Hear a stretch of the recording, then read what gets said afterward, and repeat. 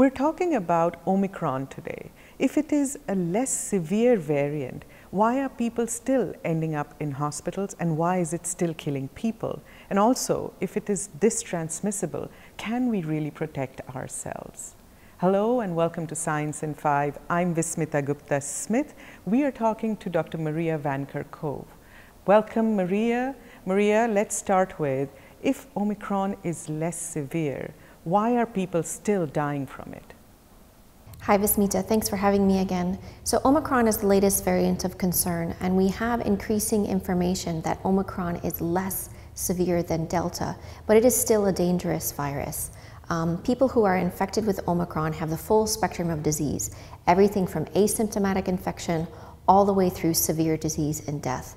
What we are learning is that people with underlying condition, people with advanced age, people who are unvaccinated can have a severe form of COVID 19 following infection from Omicron. And so we know that people are still being hospitalized with this variant of concern, Omicron, as well as dying. So it is important that we have information that is out there that is accurate.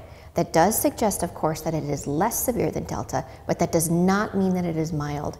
Maria, we're seeing these reports that because it's so transmissible, eventually everyone might get it. Is that true?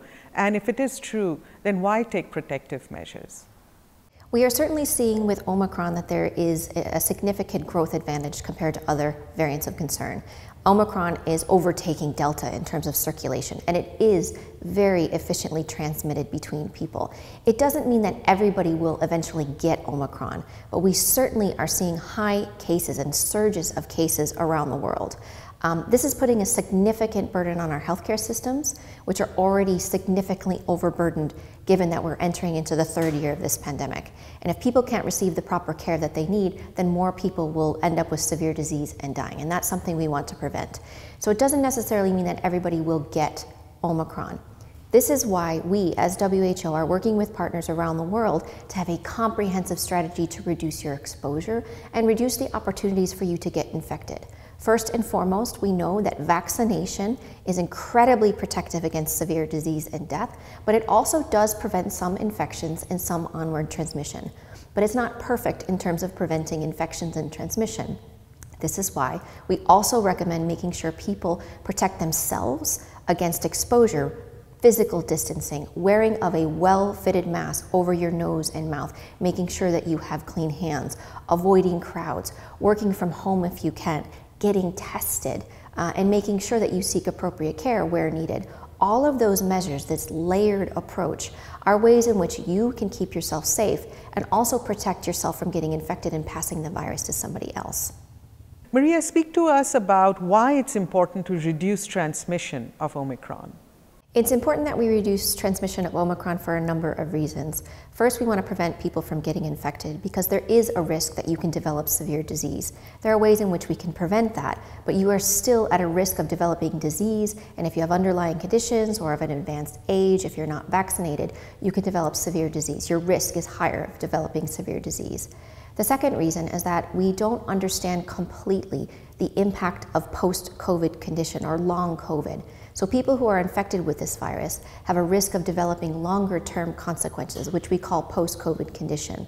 Um, and we really are only beginning to understand this. So, there's a lot to learn about this. And your risk of developing post COVID condition, of course, is dependent on your risk of getting infected in the first place.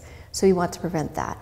Third is that getting infected and having a huge case burden, this surge of cases that we are seeing with Omicron, significantly burdens our health systems as well as other essential services that are operating. The large number of cases are really making it difficult for hospitals to operate, for services to be online, you know, public transportation, making sure we have groceries in our grocery store, schools, etc. And lastly, the more this virus circulates, the more opportunities it has to change.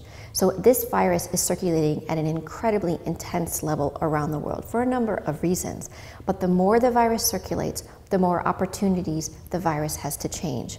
Omicron will not be the last variant that you will hear us discuss, and the possibility of future emergence of variants of concern is very real.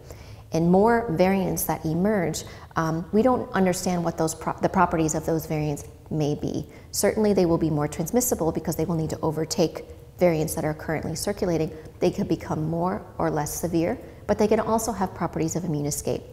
So we want to reduce the risk of future emergence of variants of concern.